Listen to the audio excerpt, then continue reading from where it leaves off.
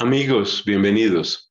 Esta es nuestra exégesis simple para el domingo número 14 del tiempo ordinario en el ciclo C, el ciclo de San Lucas. El texto, el Evangelio para este domingo está tomado del capítulo décimo y tiene una estrecha continuidad con el mensaje que recibíamos el domingo pasado. Pidamos juntos la gracia del Espíritu Santo para que esta palabra haga su obra en nosotros y a través de nosotros pueda llegar a muchos más hermanos para nuestra oración, para nuestro testimonio y predicación. Oramos con las palabras de Jesús. Padre nuestro que estás en el cielo, santificado sea tu nombre. Venga a nosotros tu reino, hágase tu voluntad en la tierra como en el cielo. Danos hoy nuestro pan de cada día. Perdona nuestras ofensas como también nosotros perdonamos a los que nos ofenden no nos dejes caer en la tentación y líbranos del mal. En el nombre del Padre y del Hijo y del Espíritu Santo. Amén. Hermanos queridos, vayamos al texto. Hemos dicho ya, está tomado del capítulo décimo de San Lucas. Comenzamos como de costumbre leyendo el texto en español. Después de esto designó el Señor a otros setenta y dos y los envió de dos en dos delante de sí a todas las ciudades y sitios a donde él había de ir. Y les dijo, la mies es mucha y los obreros pocos. Rogad pues al dueño de la mies que envíe obreros a su mies. Id, mirad que os envío como corderos en medio de lobos. No llevéis bolsa, ni alforja, ni sandalias, y no saludéis a nadie en el camino. En la casa en que entréis, decid primero, paz a esta casa. Y si hubiere allí un hijo de paz, vuestra paz reposará sobre él, si no, se volverá a vosotros. Permaneced en la misma casa comiendo y bebiendo lo que tengan, porque el obrero merece su salario. No vayáis de casa en casa. En la ciudad en que entréis y os reciban, comed lo que os pongan curad los enfermos que haya en ella y decidles, el reino de Dios está cerca de vosotros.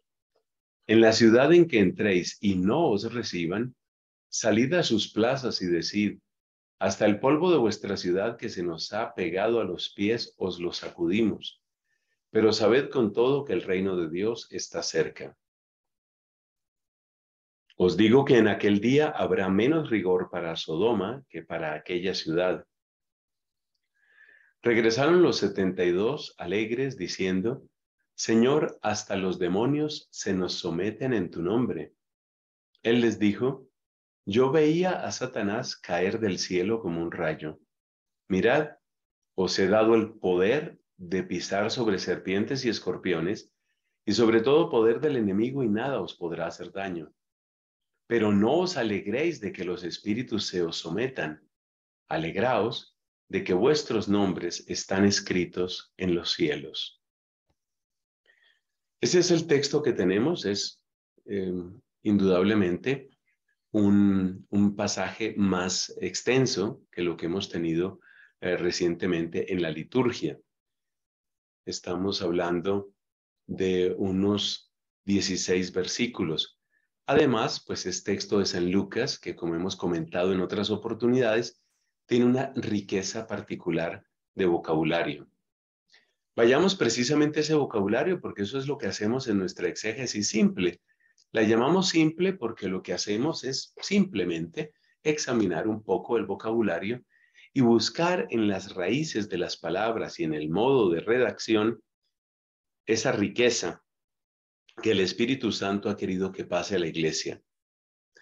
Meta de tauta Anedeixen hocurios heterus, aquí viene el, texto, entonces, meta de tauta, meta está indicando después. Recordemos que esta preposición se utiliza tanto en genitivo como en acusativo.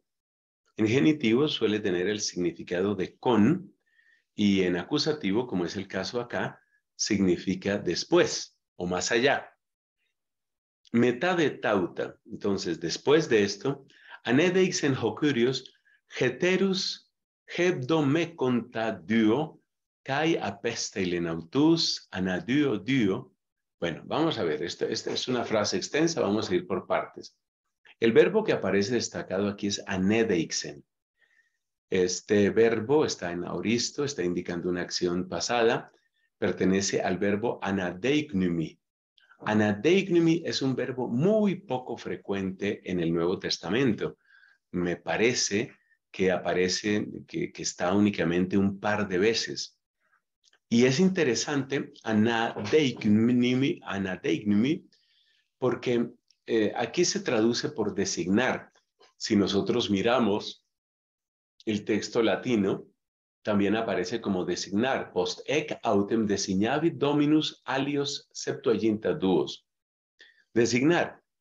Pero en su raíz original, anadeignumi, eh, realmente lo que significa es, es destacar, es hacer visible. Es decir, eh, estamos frente a una transición. Si nosotros nos situamos en los capítulos noveno y décimo de San Lucas se da una transición. Una transición según la cual Cristo hace cada vez más visible su presencia y su misión. Porque anadeignumi quiere decir eso, como, como mostrar públicamente. Claro, como les está dando un encargo, no está mal la traducción designar, pero lo que quiero destacar es que con, esa preposición inseparable ana y luego deignumi, lo que quiere decir en su origen es, es, mostrar, mostrar públicamente, es hacer visibles. Y hay otro misterio aquí. Dice, designó a otros 72. Metade de tauta anedeixen hocurios heterus hebdomeconta Hebdomeconta, se alcanza a sentir la, la, la, raíz de siete, ¿no? Hebdomeconta es, es como, pues es 70. Entonces, hebdomeconta es 70 y ustedes pueden observar que en, en la transcripción del texto griego, la palabra duo, o sea, dos, aparece entre paréntesis cuadrados. ¿Por qué? Porque algunos códices antiguos hablan de 70 y otros hablan de 72.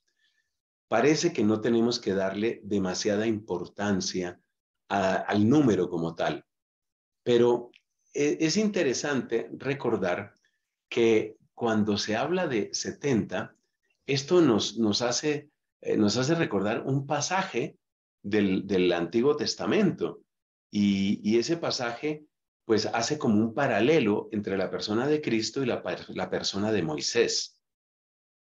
Recordemos que hay un pasaje en el, en el Antiguo Testamento, en el libro de los números, y en el que se habla de los colaboradores de Moisés. Y los colaboradores de Moisés son los 70 ancianos. Entonces, si tú me preguntas, eh, para mí es muy difícil, claro, yo no tengo razones textuales para decir si el número era 70 o 72, pero digamos que en términos de paralelo con el Antiguo Testamento, es muy atractivo pensar que el texto original de Lucas habla de 70, habla de 70, porque es el paralelo precisamente entre los 70 colaboradores que tuvo Moisés para el gobierno del pueblo de Dios en la travesía del desierto y los 70 misioneros que envía Jesucristo al desierto de este mundo para que le colaboren en su misión. Ese paralelo yo creo que es interesante. Puedes leer más sobre esto en el libro de los números. Una cosa que llama la atención es este, eh, eh, es este término, heterus. Heterus quiere decir otros y efectivamente así aparece también aquí en la traducción, designó otros 72. Es decir, eh, ¿a, qué quiere, a, qué quiere hacer referencia ese otros?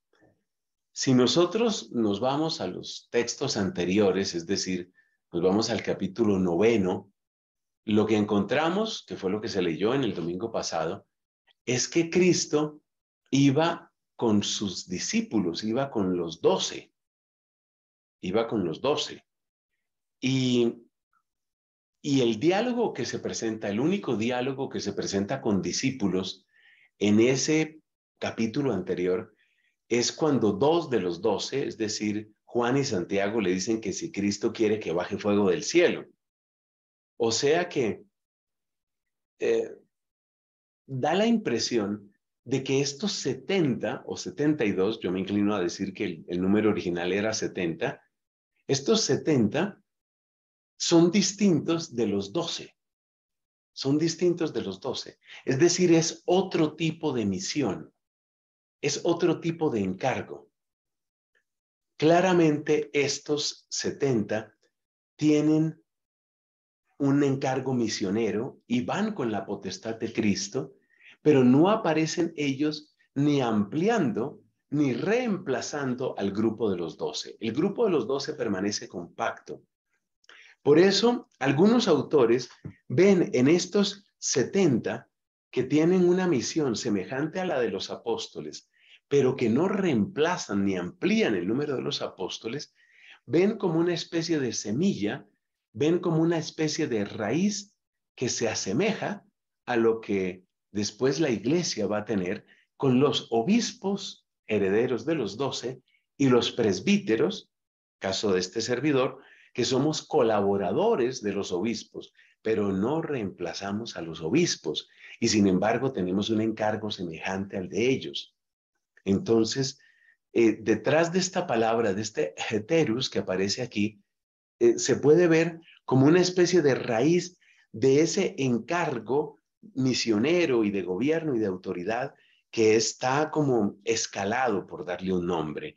Es decir, está una suprema autoridad que tienen los dodeca, que tienen los doce, y después están los hebdoméconta, o sea, los setenta. Una cosa son los doce, los dodeca, otra cosa son los hebdoméconta. Aunque el encargo es semejante, los hebdoméconta, los setenta, no reemplazan a los doce. Los envió a pesteilen autus Ana duo duo. Los envió. Ana duo duo, es decir, se traduce, los envió de dos en dos. Los envió eh, por parejas. Pro prosopu autu, por delante de él.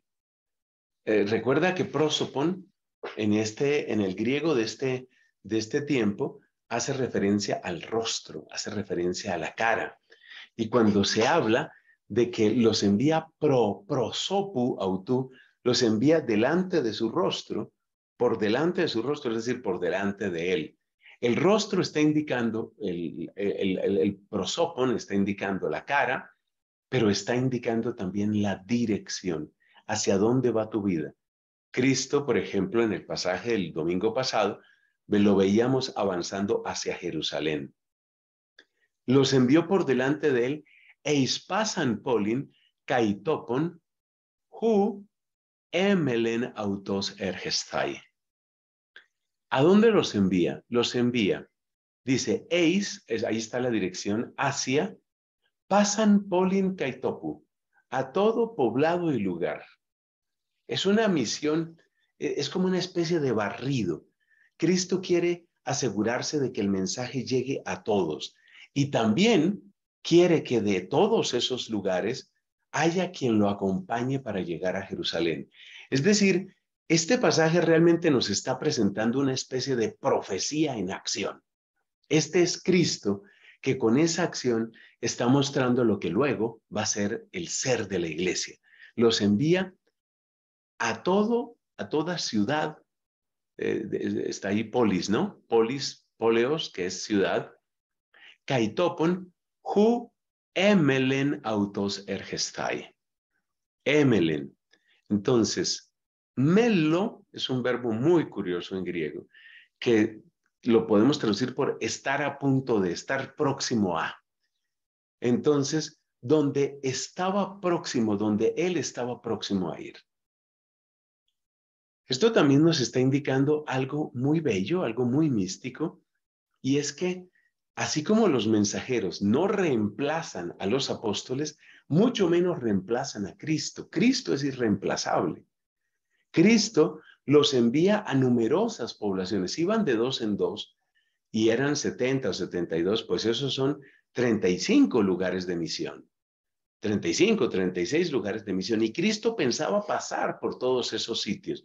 O sea que los mensajeros de Cristo le preparan el camino a Cristo, pero no reemplazan a Cristo. Pasamos al versículo 2. Elegende, entonces aquí empiezan las instrucciones. Elegende prosautus dijo a ellos, Ho men ferismos polun. Ho men perismos ferismos polus. Ferismos hace referencia a la cosecha.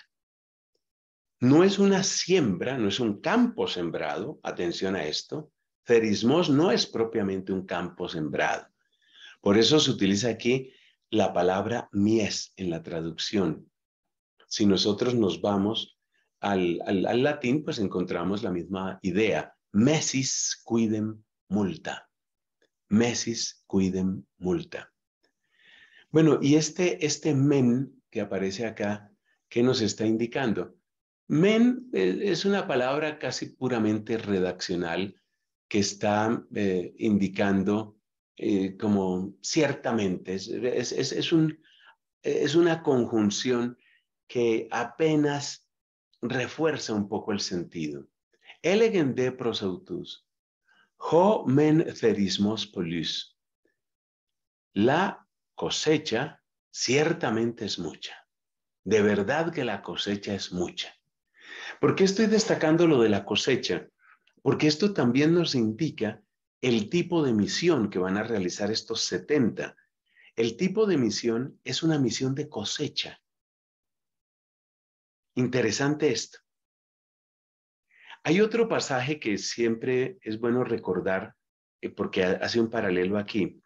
Es un pasaje de otro evangelista, de San Juan, en el capítulo cuarto, cuando Cristo tiene aquel diálogo con la samaritana y los apóstoles pues se extrañan, sí, los apóstoles se extrañan de que él esté hablando con una mujer a solas y en público. Esto realmente pues es inconcebible, todavía hoy es inconcebible en algunos lugares donde prevalecen las costumbres antiguas orientales, pero era absolutamente impensable en ese tiempo.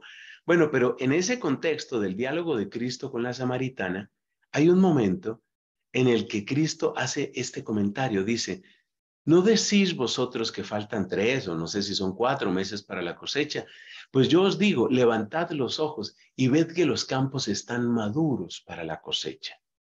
Y vuelve a aparecer esta misma palabra, la cosecha, la mies, lo que está maduro para ser recogido. Y uno se pregunta, ¿por qué Cristo habla de cosechar? ¿Por qué Cristo no habla en este ejemplo o en este contexto? ¿Por qué no habla de sembrar o de trabajar el campo? Digamos, todo lo que implica pues lograr la cosecha, sino ya habla de cosecha. Hay dos interpretaciones muy bellas ambas. Una interpretación es que Cristo se está refiriendo aquí a todo lo que ya ha sido trabajado desde la antigüedad. Es decir, todo lo que la predicación de los profetas y el largo camino del pueblo de Dios en el Antiguo Testamento ya ha hecho. Es como si les dijera, estos 70, como si les dijera, atención, que, que ustedes no están empezando de cero. Ustedes están culminando un proceso que tiene, de hecho, literalmente tiene miles de años, porque si nos vamos por lo menos a Abraham, tenemos que hablar de unos 18 siglos antes de Cristo. Entonces, una primera interpretación de por qué les habla que, que hay una cosecha es porque ya mucha gente ha trabajado antes, o sea, no, no te creas el original y no creas que estás haciendo todo desde nuevo, todo de nuevo. En segundo lugar, la otra interpretación que tiene que ver más de cerca con el caso de la samaritana es porque hay personas que están como más listas, más preparadas para recibir el Evangelio. Era el caso de la samaritana. ¿Y cuándo está una persona lista para, para que le sea anunciado el Evangelio? Con mucha frecuencia, la persona está lista cuando su mundo se está derrumbando, cuando su mundo está colapsando. Esta mujer, la samaritana, que ya tenía que ir a recoger agua a mediodía un horario absolutamente inusual, absurdo para recoger agua, en el, oriente, eh, sobre todo con aquellas temperaturas, se recoge agua temprano en la mañana o ya realmente al caer de la tarde.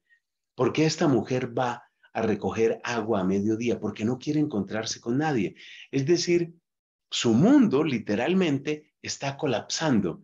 Y ese colapso, ese hundirse de su mundo, pues tiene, eh, tiene una característica, es decir, se convierte en una oportunidad para anunciar el Evangelio. Efectivamente, cuando, cuando hay necesidad, probablemente es cuando las personas están más listas, más, más preparadas, más dispuestas para acoger la buena noticia. De tal modo que si Cristo les dice que la cosecha es mucha, es porque hay muchas personas cuyas vidas se están desmoronando y que están necesitando urgentemente el anuncio del Evangelio. Por eso dice, hoy de ergatai oligoi. Ergatai son los trabajadores, los trabajadores. Efectivamente está conectado con ergon, ¿no? Que es, que es eh, energía, que es trabajo. Los trabajadores oligoi. Oligoi son, son poquitos los trabajadores. Polus quiere decir mucho, oligos quiere decir poco de oligos viene, por supuesto, la oligarquía, que es el ejercicio del poder por parte de unos pocos.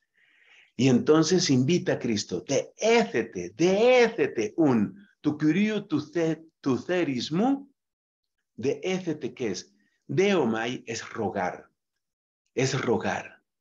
Es decir, hacer una petición, pero hacerla desde lo profundo del ser, hacerla desde la conciencia de una gran necesidad, de Ethemai. De, perdón, de Omai. Y el imperativo es de Écete. Rogar. Pidan con insistencia. Pidan entonces con insistencia. Tu curiu, tu cerismo. Al dueño, al señor de la cosecha. Opos, ergatas ekvale. De manera que envíe ergatas, trabajadores, ¿sí? Trabajadores envíe, ekvale, recordemos el, famoso verbo ballo, el ballo, ¿qué quiere decir ballo? Pues quiere decir lanzar, entonces ekvale es, es, enviar, ¿no? Eh, e, enviar desde dentro, eiston ciras monautu, que el dueño de la cosecha, porque Cristo es el dueño de los corazones, pero, pero, pero el primer dueño indudablemente es el Padre Celestial, que el, que el Padre, que es el dueño de la cosecha envíe trabajadores, envíe obreros, dice aquí, obreros a su cosecha. Hypágete, entonces los pone en camino. Id, hypágete. Idu, apostello humas, os arnas en mesolukon. Mirad, vienen las advertencias. Apostello humas, os envío, los pongo en camino, os arnas en mesolukon arnas.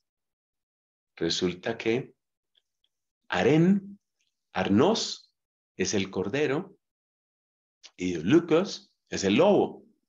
Los envío como corderos en medio de lobos. Entonces, fíjate la condición del misionero, si nuestra interpretación es correcta. Cuando Cristo habló del cerismos, cuando habló de la cosecha, está haciéndoles ver la terrible necesidad de la gente. Pero esa gente que tiene una terrible necesidad, también tiene una terrible agresividad. Eso es ser misionero, tener conciencia de que la gente tiene terrible necesidad y a la vez terrible agresividad. Requieren del alimento de la palabra, pero están dispuestos a devorar a los mensajeros. Para mí esto es de una pedagogía maravillosa, un poco por mi propia experiencia, mi propia experiencia sacerdotal continúa. Entonces les advierte que estén libres, que estén libres entre otras cosas para que los lobos tengan menos lugar donde morder. Esa libertad, ese despojo en el que está, eh, en, el que Cristo eh, los quiere, entre otras cosas, es libertad para que sean pequeños y los lobos no tengan donde morder. El lobo puede morder a una presa grande, pero los lobos no cazan hormigas ni, pulguitas. sé pequeño como una hormiga, el lobo no podrá morderte, no te va a buscar. Por eso les dice, me bastatsete, balantion, me peran, me hipodémata, kai, bueno, vamos hasta ahí. Entonces, me bastatsete, bastatzo quiere decir cargar, llevar uno en su propia persona. Bastatzo. Me bastatsete balantion es el nombre de un, eh, de un bolso, de una alforja. Eh, me peran, peran eh, indica la característica de peran, que, que por cierto pasó al latín con el mismo sonido. Peran está haciendo alusión a un bolso, un bolso, pero ya un bolso de cuero, que es el que típicamente se utilizaba para el dinero. Entonces, no lleven bolsa, como para otras provisiones, hoy diríamos tal vez maleta, no lleves maleta, no lleves billetera, mejipodémata, no lleves sandalias. ¿Por qué no llevar sandalias? Pues seguramente estos discípulos ya tenían sandalias. Claramente Cristo los quiere reducidos a lo estrictamente necesario. Es una misión que podríamos llamar simpáticamente una misión minimalista. Luego viene otro mandato, Caimedena, Medéis, pues es nadie, Medena es el acusativo, Caimedena, catatenjodón, astras, astras, aspa, aspaseste, me cuesta trabajo pronunciar esa palabra, aspaseste, aspatzomai, quiere decir saludar. Entonces, esto no es turismo, es lo que les está diciendo Cristo, esto no es turismo, este es, este es un asunto eh, este es un asunto, eh, esta es misión, este es trabajo, ¿no? Cuando a veces preguntan en los viajes en avión, bueno, ¿esto es negocios o placer? Pues Cristo dice, mira, esto es negocios, esto, no, es, placer. Pero hay otra razón por la que es importante esto de no saludar, este concentrarse en la misión. Aparte de que no pierdan tiempo, hay, otra, hay otro dato importante, y es que el misionero también puede resultar misionado, y eso ha pasado varias veces en la historia de la iglesia, que el misionero resulta misionado. Entonces ha sucedido, por ejemplo, en la historia de la iglesia, que comunidades religiosas dicen, bueno, nos vamos a evangelizar a los, a los hindúes, y luego resulta que terminan es predicando en nuestros países un catolicismo marcado por el hinduismo. Entonces, pues ahí te das cuenta la trampa que está en eso, ¿no? Un catolicismo marcado por el hinduismo. Entonces el misionero resultó misionado. ¿Y, en dónde se da la misión? Pues se da en ese entretenerse, en ese estar saludando. Tú vas a lo tuyo, en cierto sentido, en cierto sentido la misión es unidireccional. Ten presente que tú tienes un tesoro y que ese tesoro es para entregarlo, pero aquí no se trata de que otros resulten cambiándote tu evangelio, es por lo menos una de las interpretaciones de ese extraño mandato. Medena cataten jodón, aspaseste. A nadie saludéis cataten jodón por el camino. Más advertencias. Entonces ahora les pone dos escenarios. ¿Qué pasa si te reciben bien? Bueno, por lo pronto, lo más importante aquí es que tú desees la paz. Eis gen dan eiselcete oikien. En la casa en la que entres, en la casa en la que entres, está en subjuntivo porque se está planteando una posibilidad, en la casa en la que entres, proton. Proton es un adverbio que significa en primer lugar, primero que todo. Primero que todo, desea la paz. Decid, Eirene to oikotuto, la paz para esta casa. Te pueden recibir bien o te pueden recibir mal, pero tú empieza, tú empieza por desear la paz. Kai eane kei, e irenes, si hay, si hubiere, Judíos e Irenes, este es un semitismo, literalmente es un hijo de paz, un hijo de paz. Otros traducen gente de paz. Si hay un hijo de paz, entonces, epana paesetai. Bueno, Epanapawomai quiere decir reposar desde arriba, apoyarse, ¿no? Descansar ahí. Entonces, epanapaesetai quiere decir descansará epautón heirene jimón. Si hay un hijo de paz, es decir, una persona en la que se retrata la paz, en la que se ve la paz, la paz vuestra se va a quedar ahí. Si no la hay, eideme ge, si no la hay, efjimas anacampsei.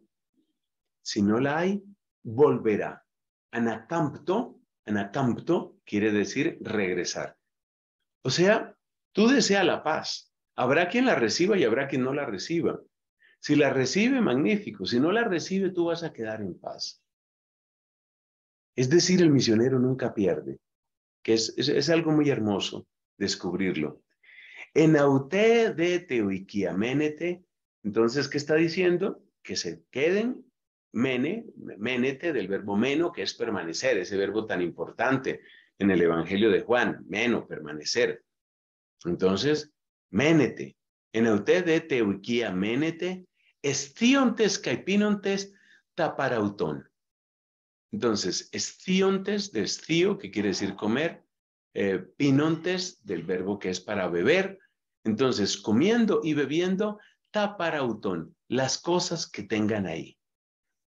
Eh, sobre esto tengo una anécdota. Una vez me preguntaba un sacerdote, pues, por cierto, un predicador, un misionero de otro país, me preguntaba yo qué pensaba de, ser vegano, de ser vegetariano. Y, y, yo le respondí con este pasaje exactamente, con, con Lucas 17, donde Cristo dice, estiontes caipinontes taparautón.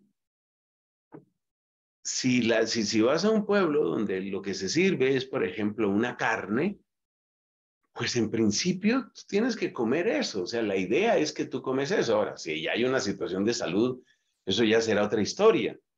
Pero que no sean las imposiciones, es, es parte de la libertad del misionero poner un mínimo de condiciones, porque cuantas más condiciones le pones tú a tu misión, más puertas le cierras a la gente para el acceso al Evangelio. Entonces les dice, coman y beban de lo que hay ahí, pero agrega, axios gar, joergates, ergates es el trabajador, axios gar, axios qué es? Pues es, es, es, es digno, es eh, sí, mm, es la raíz que está, por ejemplo, en axiología, los valores, ¿no? Axios, gar, joergates, tu autu. El obrero, el trabajador, es digno, mistu es el pago, es la recompensa. Esta palabra, mistos, es la misma que aparece cuando Cristo en San Mateo dice, cuidado con que ya recibiste tu recompensa, ya recibiste tu recompensa es decir, tu pago, eso es, eso es mistos, mistos es, es el pago. Me metabainete exoikia seisoikien. Metabainete, vaino, ¿cierto? Vaino, anabaino, catabaino, anabaino es subir, catabaino es bajar, metabaino es como cambiar. Entonces, me metabainete exoikia seisoikien. De nuevo, se trata de una especie de una especie de libertad interior que ha de tener el misionero. Te repito, la idea es un mínimo de condiciones. La persona que está cambiando de casa en casa en el fondo está buscando su comodidad, está buscando su ventaja, su privilegio. No seas así. Es decir, hay una libertad exterior que Cristo les pide y que se representa por aquello de no, no cargues maleta, ni billetera, ni sandalia de repuesto, y hay otra libertad interior, que es no seas esclavo de tus propios gustos, porque eso también puede pasar, que te vuelvas esclavo de tus gustos y por eso estés pues cambiando de casa en casa a ver dónde está mejor la cosa. Luego dice, kai eis gen an polin eisergeste, kai de jontai humas, estiete taparaticemana humin. Ya habló de las casas, ahora habla de las ciudades. Y en la ciudad, ¿cierto? En la ciudad, Eiser Geste, de nuevo en subjuntivo, donde en tres, esto es de Eiser Homai, Erjomai es ir, e Iserjomai es entrar en la ciudad donde entréis. Kaidejontaihumas. Dejomai es un verbo muy bonito que quiere decir recibir, acoger. Y os reciban, estíete taparaticemana, paraticemena humin. Paraticemi, ticemi es poner, para, paraticemi es poner delante, es ofrecer. Entonces, comed de lo que os ofrezcan. Ese en el caso de la ciudad que recibe bien. ¿Y qué pasa con la ciudad que recibe mal? Bueno, seguimos todavía, perdón, con la ciudad que recibe bien. ¿Qué, qué, va a recibir la ciudad, el lugar donde lo reciben bien? Caiterapeuete tus en aute y terapeuete, terapeu es curar, de viene la terapia. Tus en aute astenéis. Ascenés quiere decir el, enfermo, el enfermo. Entonces, eh, sanar, curar a los enfermos que haya en ese lugar. Kailegeteutois Engiken efhimas hebasileia tuceu. Engiken. Engitzo es acercarse, aproximarse, estar, estar a las puertas. Engiken efhimas hebasileia tuceu. Viene el reinado de Dios. Ese anuncio para la ciudad que recibe bien. ¿Y qué va a pasar con la ciudad que recibe mal? ¿Será que ahí no reina Dios? Pues ya verás que la respuesta es diferente. Eis gen dan polin eis selcete Caimé de Juntajumas. En la ciudad donde me de Juntajumas, donde nos reciban, excelzontes eistan, eistas plateas autes eipate. Entonces, excelzontes, literalmente, saliendo, saliendo a las plateas. Plateia es, es la plaza, saliendo a las plazas de esa ciudad, decir, es decir, públicamente, públicamente hay que decir lo siguiente. Veamos cómo traduce el griego ese. In quacunque civitatem intraveritis et non receper in vos, exeunte sin plateas ellos dicete. Es decir, saliendo a luz a las, a las plateas, a las plazas, decir, ¿qué es lo que hay que decir? Caiton, coniortron, coniortón. ¿Qué es coniortón? Pues a ver, coniortos Coniortos es el polvo, el polvillo, el polvo, usualmente de tierra. Caiton coniortón, ton colecenta gemin, ectespolios simón, eis tus pudas, eis tus podas, apomasómeza. Entonces, vamos por partes. Coniortón es el polvo. Colecenta ese es el polvo pegajoso, el polvo que se ha pegado el polvo que se ha adherido a nosotros, gemín, a nosotros, y el polvo que se ha adherido a nosotros, ectespolios gimón de vuestra ciudad, eis tus podas a nuestros pies, ¿se entiende? A, los pies, el polvo que se nos ha adherido a los pies, apos, apomasómeza. Apomazo es, sacudir, es desprenderse. Pero aquí aparece curiosamente apomasómeta, apomasómeta humin, es decir, lo sacudimos humin a vosotros. Lo sacudimos a vosotros. En latín traducen extergimus in vos echamos sobre vosotros el polvo vuestro, es decir, no queremos tener nada que ver con vosotros. Plem tuto, sin embargo, plen tuto ginosquete, sin embargo, sabed, sabed esto. Joti engiken tuceu. Fíjate que en la ciudad donde los reciben bien, hay que anunciar, bien el reino de Dios. En la ciudad donde los reciben mal, se hace todo ese, eh, llamémoslo, ese, ese gesto expresivo de sacudirse el polvo, pero también hay que decir bien el reino de Dios. Es decir, Dios viene a reinar sobre los que quieren que reine y sobre los que no quieren que reine, pero Dios viene a reinar. Y esta es enseñanza común en la teología. Cómo el reino de Dios no se suspende porque la gente no quiera que Dios reine. Viene Dios a reinar, sino que reinará con la dulzura de su bondad sobre aquellos que lo aceptan y reinará con la dureza de su justicia sobre aquellos que no lo quieren. Pero Dios va a reinar. Es decir, es un mensaje portentoso. Lego humin, y viene la advertencia, os digo, lego humin, jotisodomois entejemera ekeine, anectoteron estai, e tepolei ekeine. Sodomois, que hace referencia a la ciudad de Sodoma, literalmente significa para los sodomitas, para los habitantes de Sodoma. Lego humin, joti, os digo que para los habitantes de Sodoma, en Tejemera Ekeine, anectóteron, anectos significa eh, tolerable, lo que se puede llevar, lo que no es demasiado pesado. Entonces, les digo que será más, más tolerable, es un comparativo anectóteron, os digo que para los sodomitas será más tolerable aquel día, en aquel día, será, está aquí en el verbo y aquí lo tienes, será, ¿no? Estai en tejemera ekeine, para los sodomitas, os digo que para los sodomitas será más tolerable en aquel día e que para la para esa ciudad.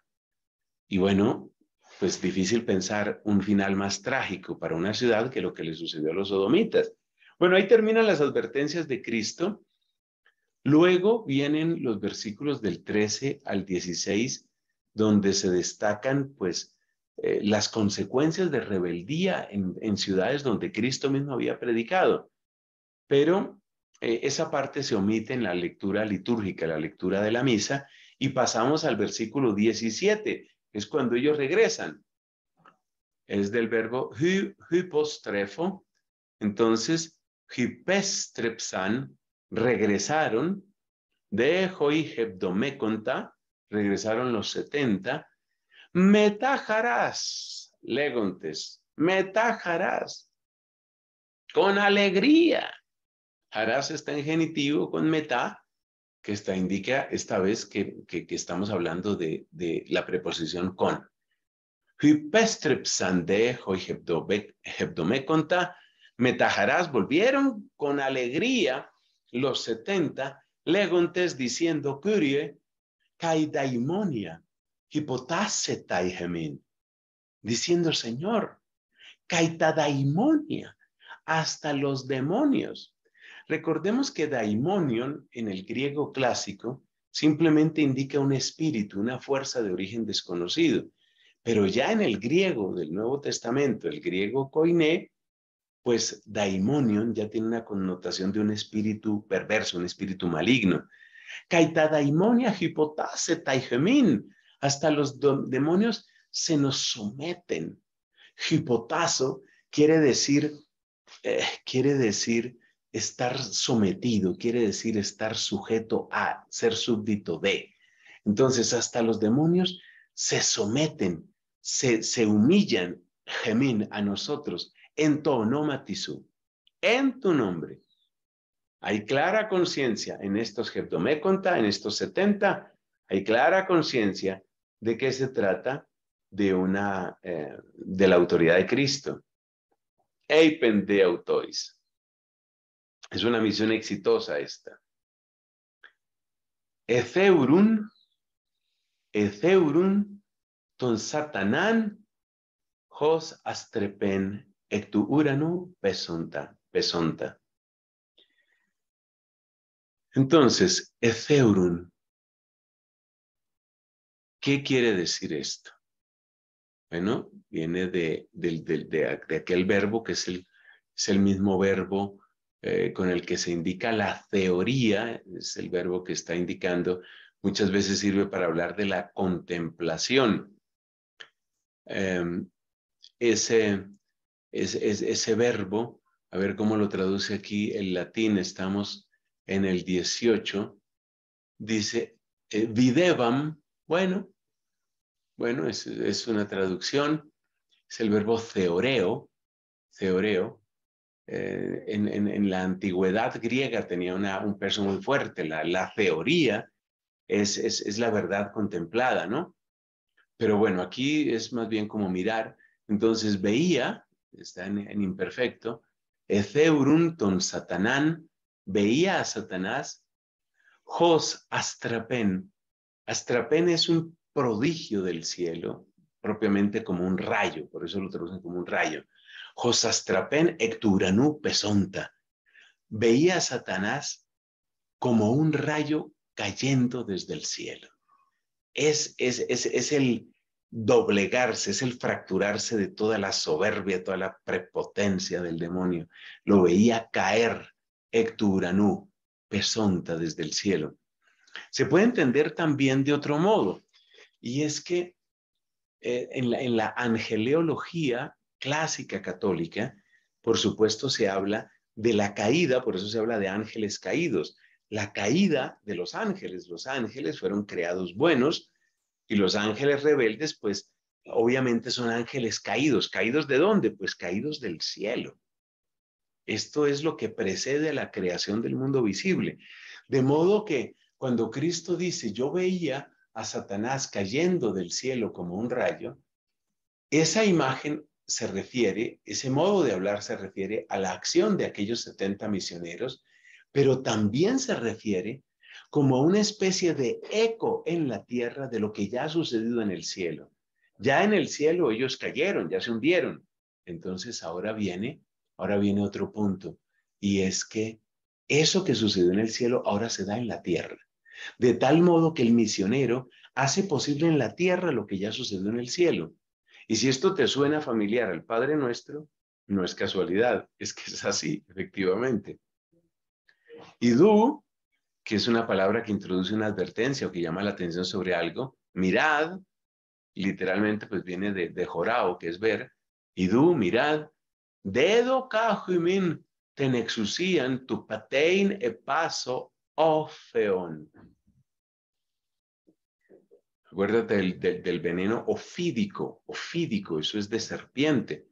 Dedoca, del verbo didomi, os he dado, ¿no? Dedoca os he dado, tenexusian, ese es el poder, el poder, la potestad, la autoridad.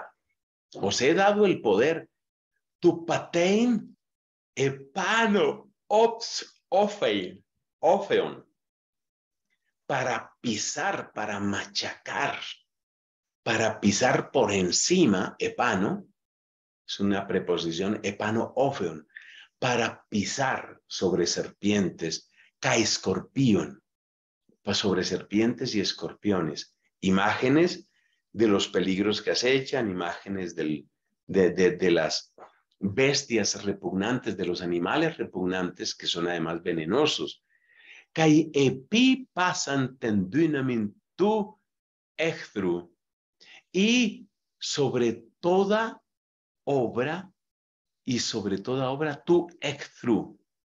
Ecthros, ecthros, una palabra difícil de pronunciar, ecthros, está aludiendo al enemigo, pero no es cualquier enemigo, es el que quiere hacerte daño. Es el que tiene intención de hacerte daño, de dañarte. Ese es, ese es el demonio. Entonces el demonio tiene esa intención.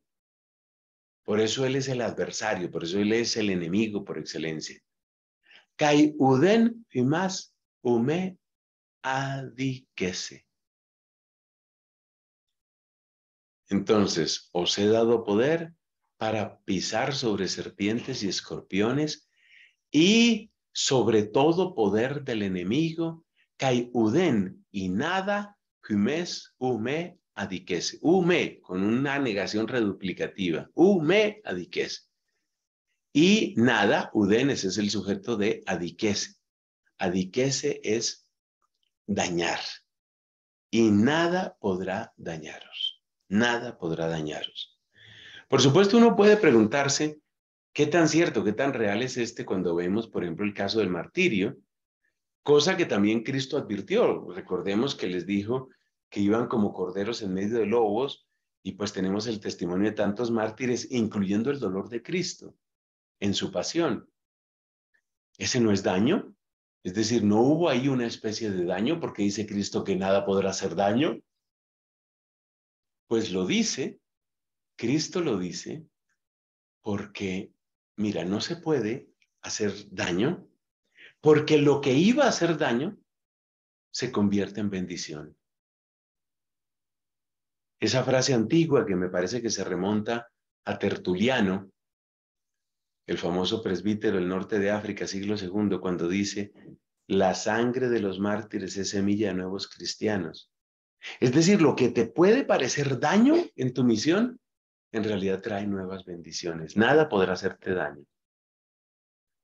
Plen en tuto, me jairete, sin embargo, sin embargo, en tuto me jairete, hotitapneuma taujimin hipotacetai. Pero no os alegréis, me jairete, hotitapneuma taujimin hipotacetai. No os alegréis de que los espíritus se os sometan. De nuevo aparece el hipotazo, ¿no? Que no sé si lo estoy pronunciando bien, vamos a ver aquí. Sí, es hipotazo. Pero no os alegréis de que los espíritus se sometan a vosotros. Jairete de, alegraos, jotitaunómata jimón, en gegraptai en toisuranois. Alegraos, más bien, de que vuestros nombres, taonómata jimón, los nombres vuestros, alegraos porque vuestros nombres en gegraptai en viene de engrafo. Engrafo eh, significa inscribir. Inscribir. Grafo es escribir, también significa dibujar. Entonces, engrafo es, es escribir adentro, es inscribir. De que vuestros nombres estén inscritos, estén inscritos en los cielos, en Toisuranois. Una última anotación. Es interesante que Cristo utilice en Gegraptai, en Gegraptai. Es como estar escritos adentro, estar escritos adentro o estar inscritos. Y digo que es interesante y es bonito porque al referirse a esos nombres que están escritos adentro, es como en el corazón, en el centro mismo del cielo, en el centro de los designios de Dios. Toda esta labor misionera debe recordarnos algo fundamental. Toda esta labor misionera. Y es que así ha de ser la iglesia.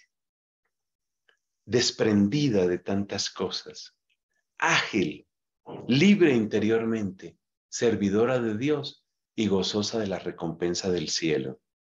Amén.